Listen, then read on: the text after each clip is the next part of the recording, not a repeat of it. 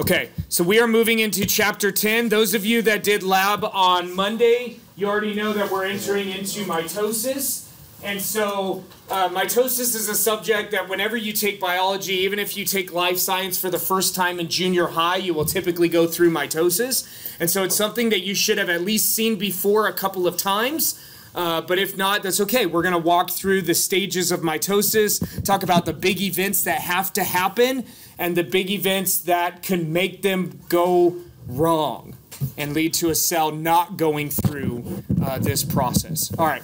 So, first question What are the stages of the cell cycle and how do chromosomes factor in? What are the stages of the cell cycle and how do chromosomes factor in? All right. So, here's a diagram of the cell cycle, and uh, there's no mistake that the, the M phase or mitosis is the smallest piece of this pie. The only mistake is how large of a piece it, it, it represents on this diagram. And that's because you had to fit in a lot of information. But according to this diagram, you'd be looking at what about 15, 15 10 to 15% of the cycle is represented by this piece of the pie. It's nowhere near 10 to 15% of the amount of time that a cell is in that cycle. Okay? It's, it's much less than that. And for most cells in our body, they're, ju- they're, they're just hanging out here and they'll never go to the next stages. They're, they're, they're here. And so, um, you know, these are only in parts of our body, either early in development when cells are dividing like crazy because you're growing like crazy, uh, or in parts of your body where you, where you need to regenerate a lot of new cells because you're losing them. So at the base of your skin to replace the cells that are lost as they move outward and eventually are sloughed off, um, which is kind of cool to think about that you walk around and live in an environment where 90% of the dust you inhale is, are skin cells from other people. Yeah. You're like, that's so cool. I, I never thought about it that way, and now that I do, I love it. I love it. But like so there you've got actively mitotic cells in your liver because your liver cells die very rapidly because they are they are metabolizing toxins. Um, you you've got very actively mitotic cells in your bone marrow regenerating blood cells that are lost, white and red blood cells. Okay, but other than that, you don't have a lot of actively mitotic uh, tissues. And so most of the cells in your body are just are here and they're going to be there until they until they don't exist anymore. All right? Okay. Yeah. Yeah. Okay, so collectively, everything besides M phase is known as interphase, and it consists of gap one, S phase, where the where the DNA is duplicated, and G2. Now, S phase does take a long time. It takes a long time. We have a lot of DNA. Uh, you have two copies of a three billion base pair genome. It takes a long time uh, to replicate that. So here's another way of looking at it, just demonstrating to you what's going on with the chromosomes. Those of you that have already had lab, you've seen this during interphase, you can't see individual chromosomes. And here it's showing you individual chromosomes just for so that you know they're there, but they're not condensed enough for you to see them with light microscopy. You could see them with electron microscopy, but not with light microscopy. But once you get into M phase, your chromosomes are visible. And if you get a really good cell, which some of you were able to do in lab, you can actually see this textbook X shape uh, to those chromosomes. Okay, and then so depending on the uh, position of those chromosomes gives you an idea of what specific stage of M phase you're in. Okay, and we'll go through all of these stages in more detail uh, in a little bit. And so what's nice is you can go through here, you can look at a cell or a slide that's a prepared tissue of actively mitotic tissue. For instance, uh, the root from a plant, which is what we looked at in lab, or a, the blastula, which is an early embryonic stage of some animal, okay, where basically the whole thing is actively mitotic. And you can find cells in all of these various stages at all these various points. But it's not easy because cells are tiny, the nuclei are even tinier, the chromosomes are even tinier than the nuclei. So it's not easy, but it's doable. Not easy, but it's doable. Okay. What are the stages of the lot of the cell cycle and how do chromosomes factor in? Oh, still same question. Same question. So there are three main events. Three main events. interphase. Interphase, which that's collectively everything outside of M phase, everything that happens outside the time of M phase.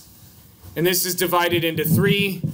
G1, and this is where like the cell is behaving like a normal cell. Again, keeping in mind that most of the cells in your body are in G1 and will never go to a different stage. This is the normal stage. This is where they're growing, they're behaving like normal cells. If it's a liver cell, they're metabolizing toxins, pulling them out of the blood as it flows through the liver. If they're neurons, they're taking electrical signals and sending out other electrical signals. If it's a red blood cell, they're they're they're taking oxygen and they're carrying it somewhere else, taking a little bit of carbon dioxide, carrying it somewhere else. Then we have S phase. S phase is when the DNA and all of the chromosomal proteins associated with the DNA are duplicated. Once a cell does S phase, it's committed to finish the cycle.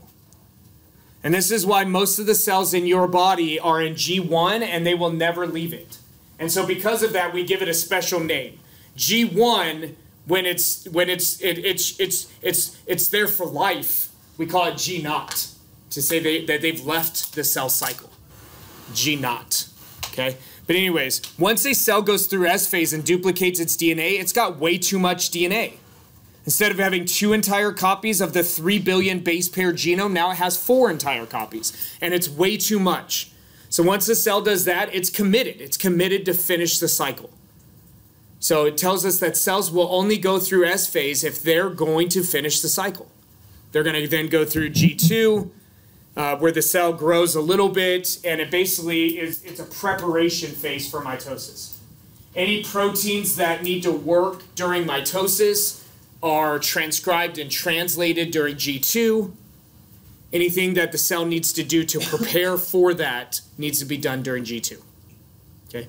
But again, we know once we enter G2, we're, the, the cell's already committed, right? It did S phase. It's already committed to finishing the process. And so G2 is a preparation for M, for mitosis.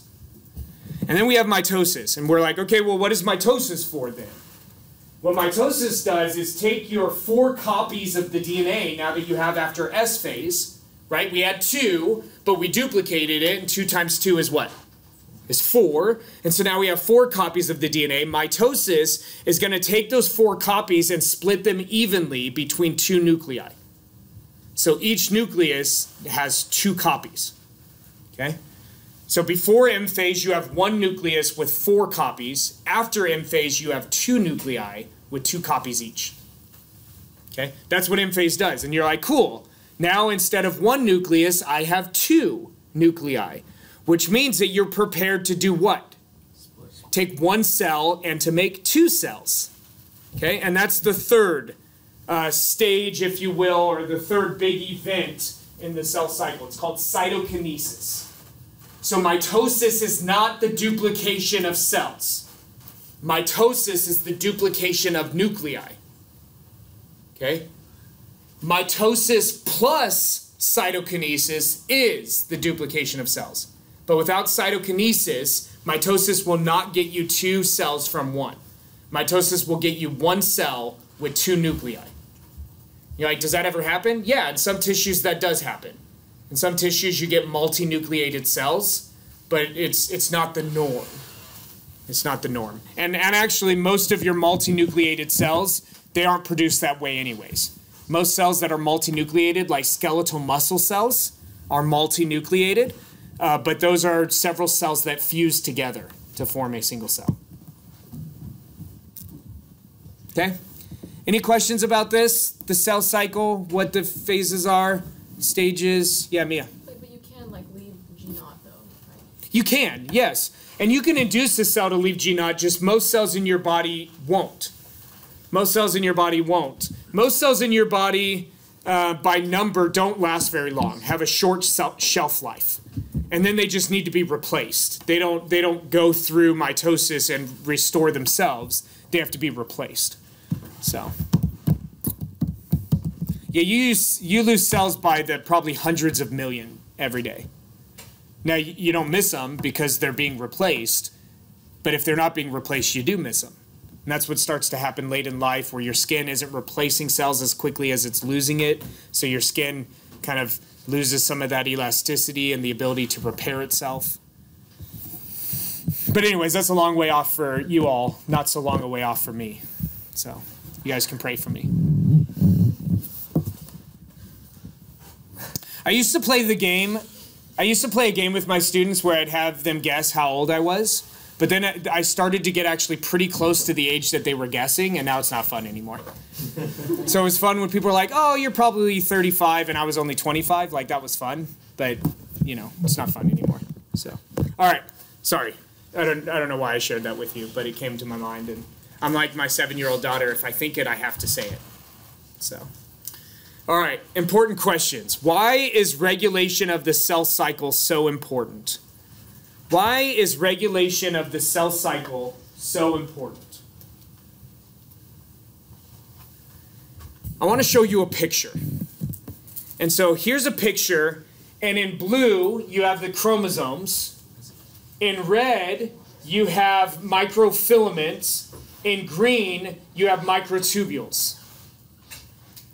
And, and what you can see in this image is that you've got two cytoskeletal elements that are involved in the process of controlling the location and the behavior of these chromosomes. This is a very, very important thing to control.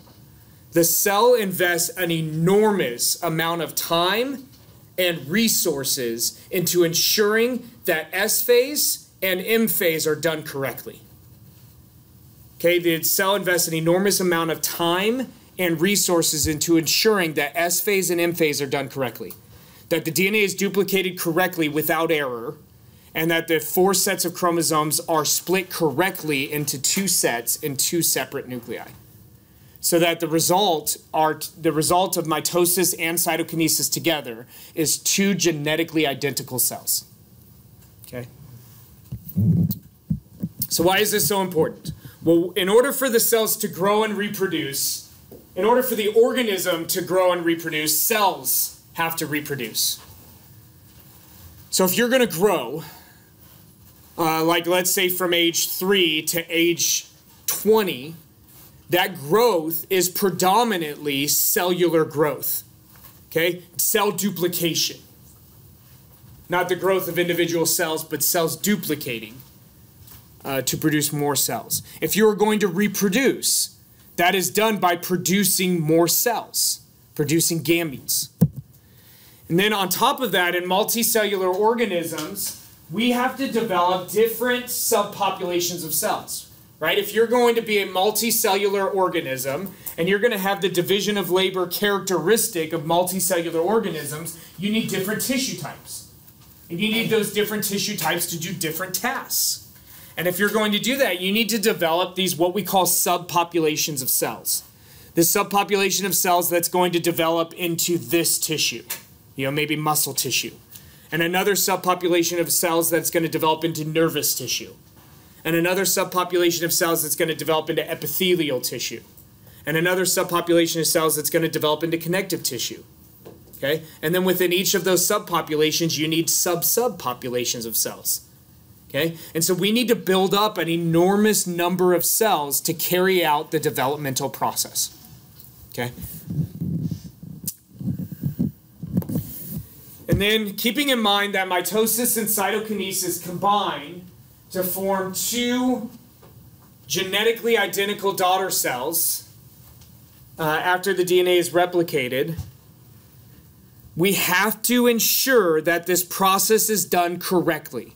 Otherwise, you become what's called a mosaic, in which you have genetically distinct cell lines in your body. Like a dog with one brown eye and one blue eye. And so what happened is at some point the mitosis was not done correctly, or the DNA duplication was not done correctly. And so one uh, eye basically gets no pigment, and the other eye gets pigment uh, deposited. And then keeping in mind that DNA exists as a chromosome, that we need to ensure that these chromosomes are divided during M phase. So our DNA, before it's duplicated, exists as a chromosome, DNA and its associated proteins. We duplicate that, and then we need to ensure that those chromosomes are separated correctly during M phase. That's what you need to be anticipating and thinking about and searching for as we go through M phase. Where are the chromosomes? Where are they going? Okay? That's the whole focus of M phase. Where are the chromosomes? Where are they going? Okay, this we've already mentioned. Now, most organisms are diploid. And what that means is they maintain two entire copies of the genome, two full sets, two versions of each chromosome. And so this is something we need to be able to maintain. So for you, the average cell in your body has two copies of chromosome 1. One that came from mom, one that came from dad. Two copies of chromosome 2 one that came from mom, one that came from dad, so on and so forth, all the way up through chromosome 22. And then if you're male, you've got a Y chromosome that came from dad and an X chromosome that came from mom. If you're female, you've got two X chromosomes, one that came from mom and one that came from dad. That's something we need to preserve and maintain during this process. So it's not just a matter about having the DNA. Okay? Not having, but having. How I can I don't even know how to make the distinction. Cutting it in half. Okay? And so it's it's not just a matter of cutting the amount in half. It's ensuring that every nucleus gets two copies of chromosome 1. Every nucleus or each nucleus because there are only two gets two copies of chromosome 2, so on and so forth down the line. And so after S phase, each individual chromosome is actually two sister chromatids that are identical to each other. So when the DNA is duplicated, after which they are physically attached together, the two copies. And so during M phase, you should anticipate seeing those two sister chromatids being split apart. Being split apart. All right? Questions? Thoughts? Concerns? Anything you feel like you need to share at this point? It's really warm in this room. I feel like it's making me tired, which means it's probably making you tired. And then on top of my voice, which is very soothing, you know. I get it. It's my kids fall asleep when I'm talking to them all the time. Actually, I wish that were the case. My kids don't sleep. But anyways, that's not for you. That's for me. That's my that's my burden to bear. All right. So here's what I want you to do. I want you to work with those around you, and I want you to go through and I want you to write down the five major stages of mitosis and the big events that happen in each phase. Okay? So we've got five major stages of mitosis and write down just the, the key event, just one key event that has to happen in each of those five stages. Okay? Take a couple of minutes. I'm going to grab some water starting now.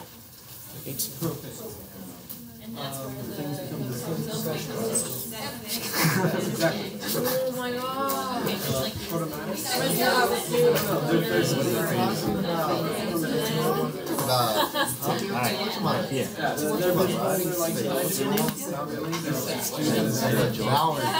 god. I'm George.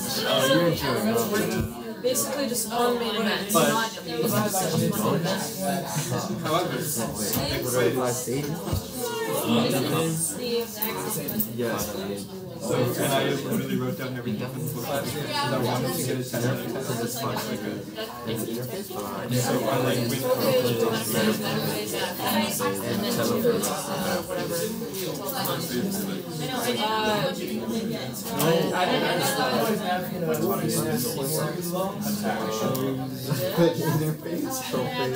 I answered the question. With I just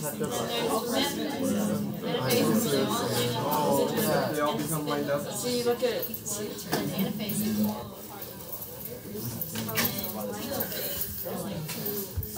Yeah. right here, there's like They're four, and about then to there's one more. split and become two separate chromosomes. Or two not small chromosomes, two separate. There you go. And the chromosome becomes here.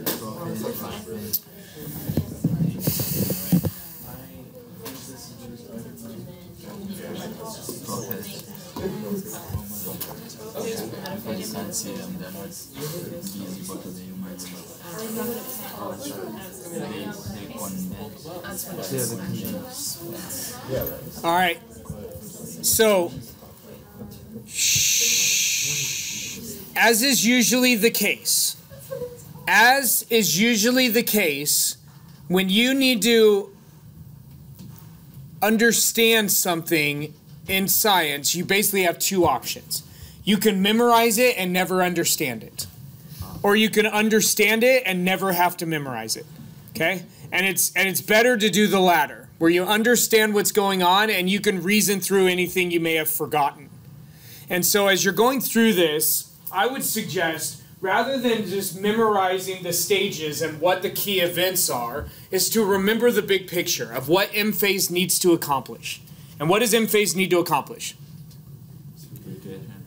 It needs to duplicate the nuclei into two genetically identical nuclei. And we know that at this point, when M phase starts, every chromosome is composed of two identical sister chromatids attached together. So we know at some point during M phase, we need to separate those two chromosomes from one another. Okay?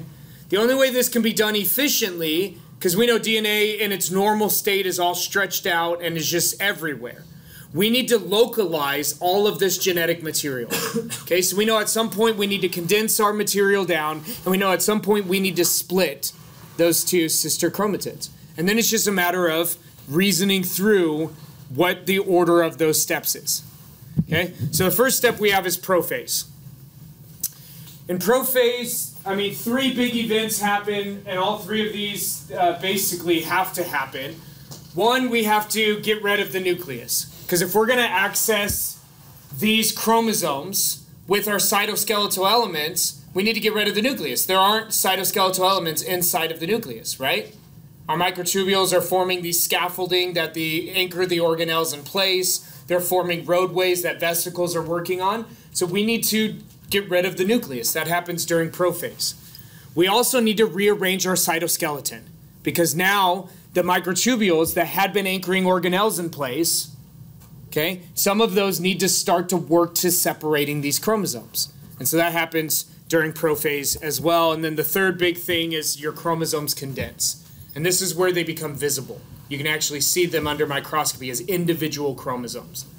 And so when you stain the chromosome, it doesn't just look like one big purple nucleus, it looks like individual bands inside of a more colorless nucleus. So that's prophase. Three big steps, but things that have to happen for us to carry out the process of separating our genetic material. The next one, prometaphase. And so in prometaphase, we, we basically, it literally means first metaphase. And so in here, our cytoskeleton has made contact with our chromosomes and we're moving them. We're moving them essentially to where they'll be during the next phase.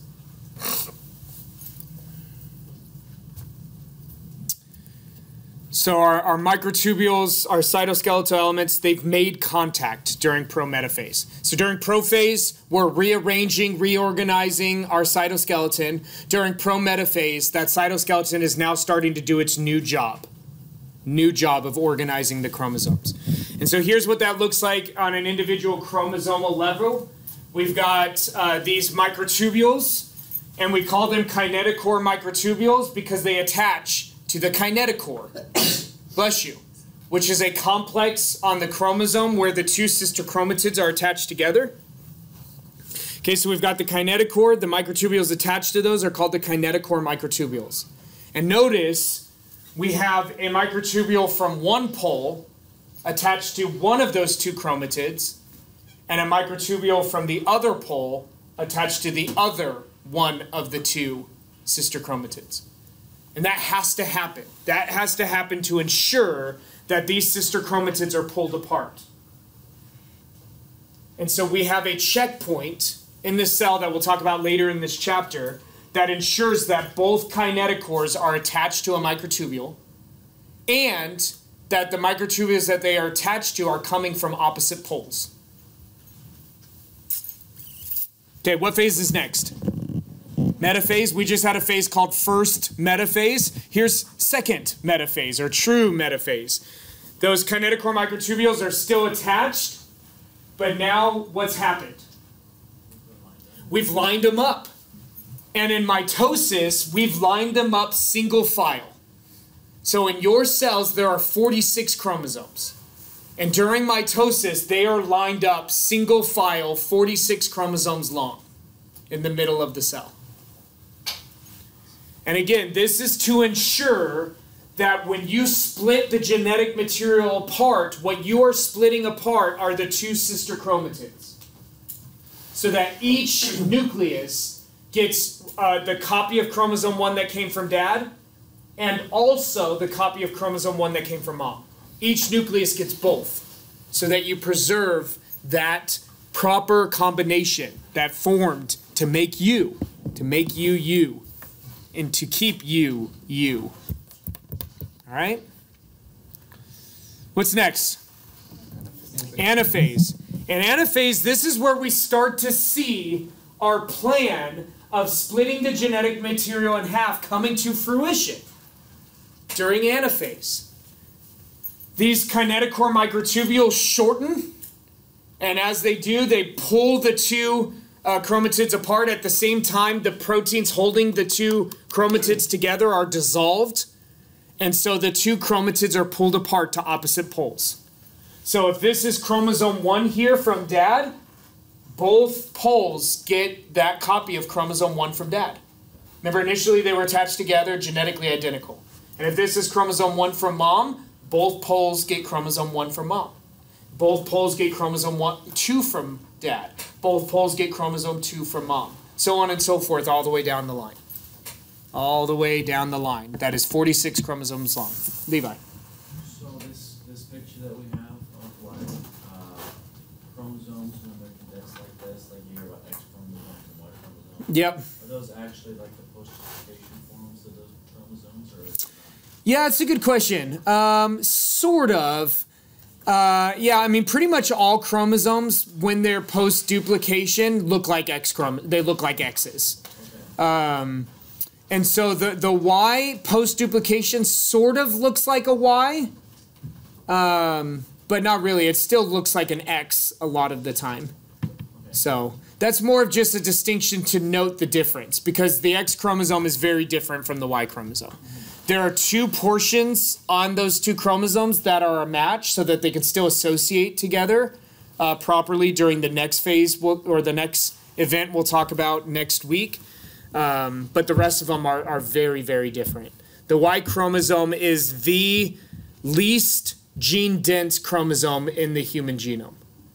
It has the fewest number of, of genes of, of any chromosome. It's also the smallest, but it only has about one gene for every one million bases.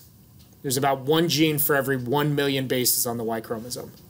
Because really, the only thing that the Y chromosome needs to do is to uh, sh- shift the cell into producing a certain two cell types one that's going to produce um, one that's going to produce sperm and one that's going to produce high levels of testosterone.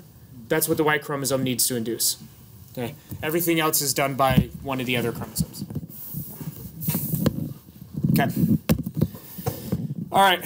So then we'll just go ahead and, and, and write these out really quickly. Notice one phase that we didn't mention yet is telophase, and that's because telophase and cytokinesis happen simultaneously. So we'll save that one for a moment. You're like, but Dr. Ingle, that's the last phase of mitosis. You're right, but it also coincides with another thing altogether. So be patient.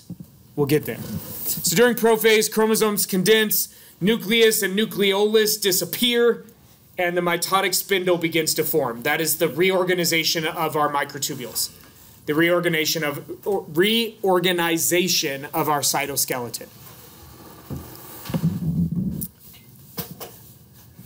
Sorry, I'm having a good time.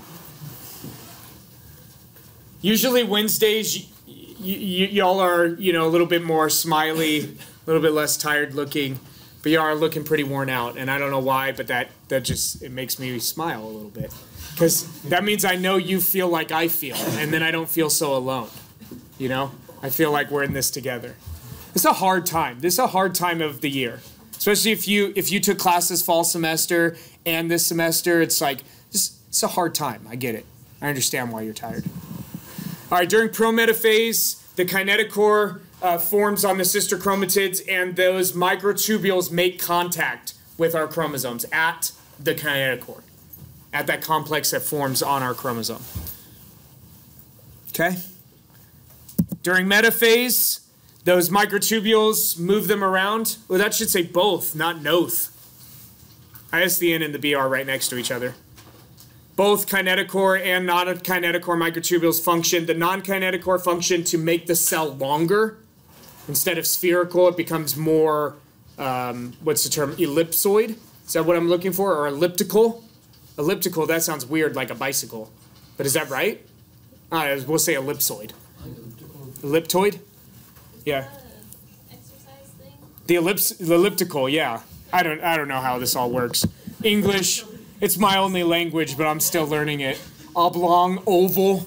Anyways, the non-kinetochore microtubules are are functioning to elongate the cell. The kinetochore microtubules are moving them around, adjusting them until they get right in the middle. And really, the middle is wherever you'd say the middle is, because it's actually wonderful. We'll see this uh, a lot of times. You get an uneven distribution of cytoplasm when the cells go through mitosis and cytokinesis. And so the middle is wherever you tell tell it the middle is. So the middle could actually not be the geometric middle. But anyways, that's another conversation for later. I just I want you to know that and so you you, you can anticipate that. During anaphase, uh, the spindle separates your two chromatids from each other and ensures that each pole gets one of the chromatids. Each pole gets one of the chromatids.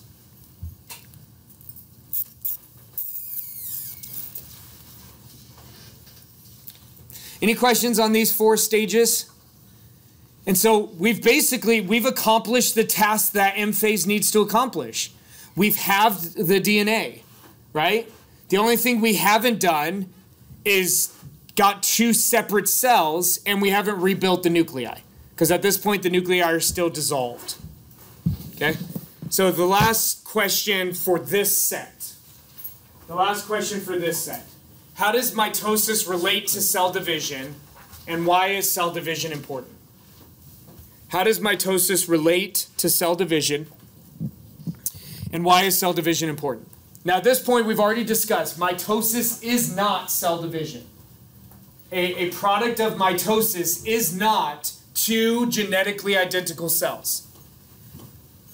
The product of mitosis along with cytokinesis is two genetically identical cells. And so here you can see telophase happening concurrently with cytokinesis.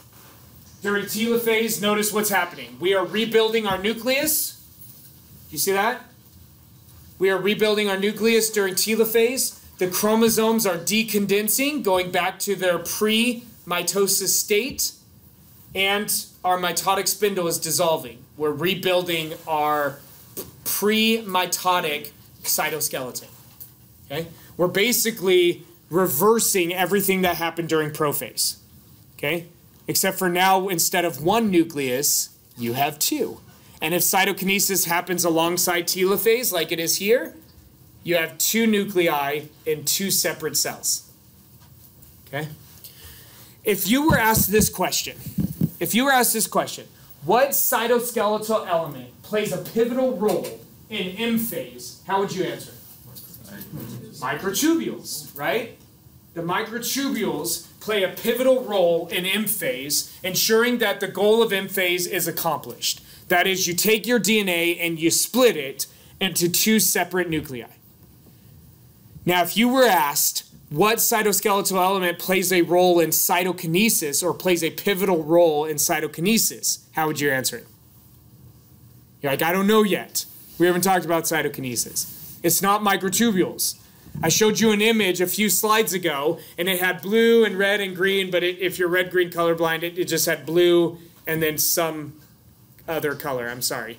Oh, so, but we had we had the cytoskeletal elements that would both be colored the same, or that one is green and one is red. And I told you one of them was microtubules, which work to ensure that our chromosomes are separated properly. And then the other cytoskeleton was what? Or what? Microfilaments. And the, the role microfilaments play is, is they play a role in ensuring cytokinesis happens. They play a role in establishing where the middle of the cell is.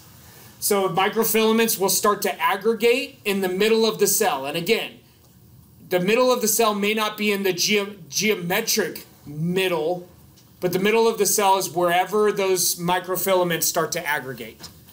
And while telophase is happening and cytokinesis starts to happen, these microfilaments do what microfilaments do best. Where else do we find microfilaments in the body? In muscle cells. And you've got a motor protein called myosin that walks two actin filaments in opposite directions. To do what? To shorten the fiber and to contract your muscle. So what do microfilaments do well? They contract and shorten structures. And so that's what happens right here. It's called the cleavage furrow. And what will happen is those motor proteins will start to walk all of these microfilaments in opposite directions, pinching this cell into two cells. Say, have you ever been chewing gum and somebody asked you for some of it? If that's never happened to you, wait until you have children. It'll happen to you all the time. But I'm not going to give them my entire thing of gum because they would choke on it. And my wife thinks it's gross that I would give them pieces of my gum anyway. Should I just give them a new piece? I was like, no, they asked for part of mine. I'm going to fulfill what they requested. But you take you the best way to do it is you take your gum, you blow a bubble, and then you bite the bubble in half, and it basically pinches it into two bubbles, right? That's kind of what's happening here. You take a cell you, you, you, you, you pinch it right in the middle, and eventually it pinches into two separate cells. And it's all accomplished by those microfilaments. You've never shared gum with anyone? Okay. It's kind of gross, but anyways. share gum with their father? That's okay. As long as they don't think it's completely normal to share gum with everyone. That would be abnormal. Maybe I should have a conversation with him.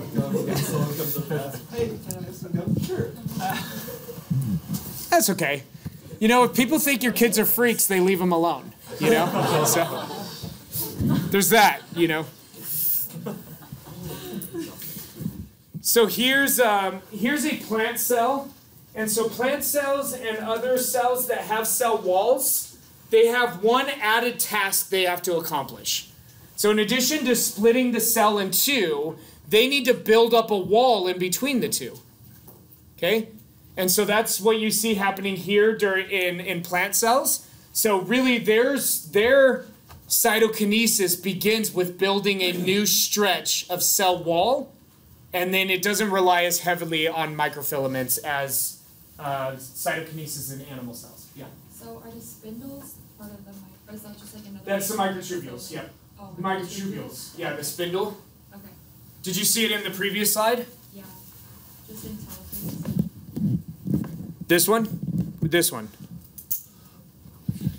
This one. Nope. Nope. Nope. I don't know where it is. Where did we see it? Oh, the spindle. Yeah, in telophase where the spindle dissolves. Yeah. Yeah, the spindle is this. It's it's the microtubules. It's the reorganization of the cytoskeleton that gives you the microtubules you need to separate the chromosomes. That's what the spindle is. Okay.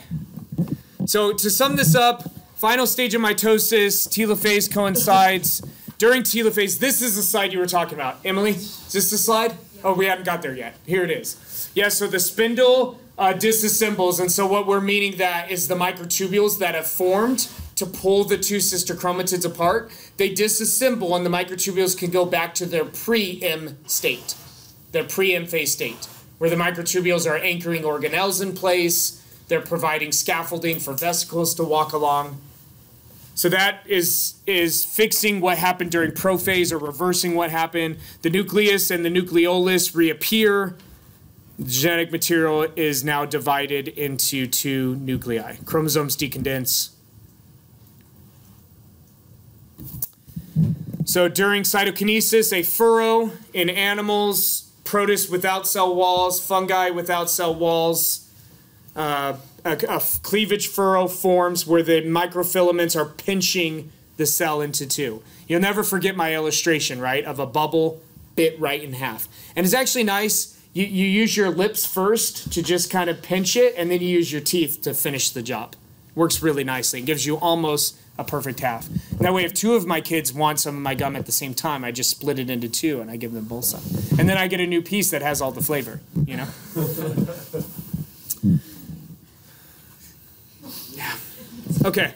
And then, uh, yeah, and cell division, this is the primary way in which a multicellular organism grows, and it's the only way an organism can reproduce. And so if an organism reproduces asexually, uh, it does it by mitosis.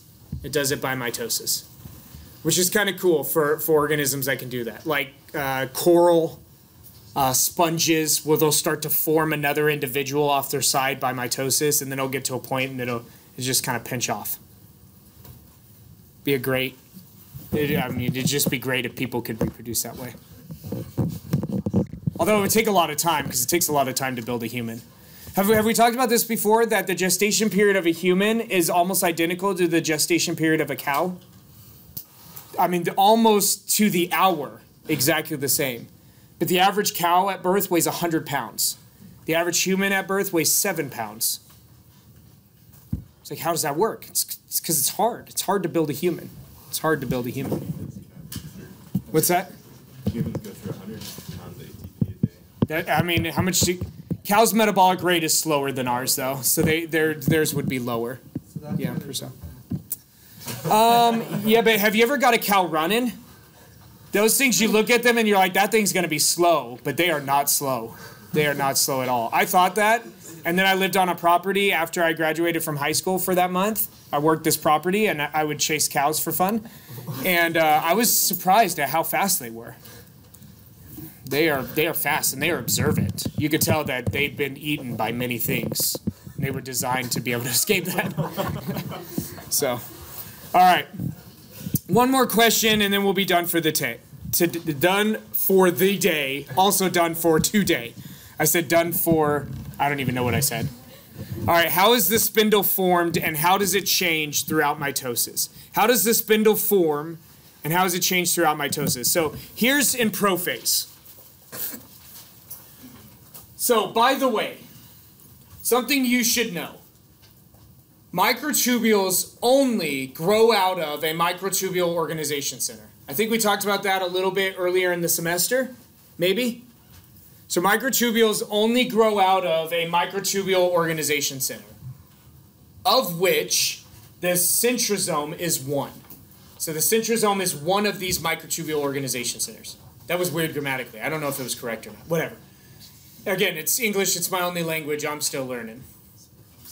You know. Um, so here's our micro, microtubule organization center, and it's starting to again. It's reorganizing our cytoskeleton. So during prophase, uh, we duplicate. Well, the actually the duplication of the centrosome happens before prophase. So by the time you get to prophase, you've already got uh, two of them. And you can see these microtubules are growing out of these growing out of these centrosomes.